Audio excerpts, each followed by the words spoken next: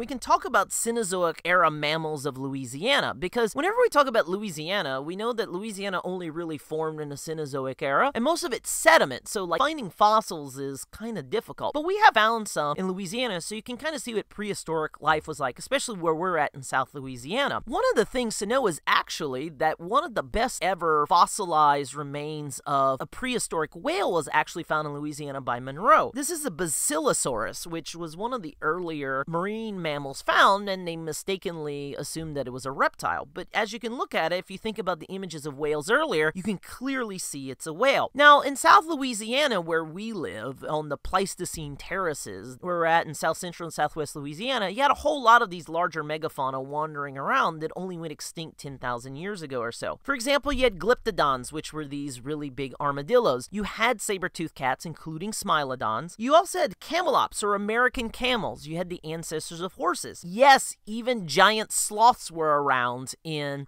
South Louisiana, which they've actually found giant sloth bones on Avery Island. You also had elephants, where whether we're talking about woolly mammoths or American mastodons, we found evidence of that at Jefferson Island, the Salt Dome, as well as Avery Island. And also, interestingly enough, in terms of the American mastodon, is we actually found one in Lafayette in 1970. And so, if you're wondering where this place is at in Lafayette, it's along the Vermilion River. Uh, it's right by the airport. So once you pass the airport and you make the curve and cross over to Vermilion River, you look and see like an old abandoned warehouses and stuff on your left. That's the Trappey plant, and on that pond that you see right there is where it was found. Here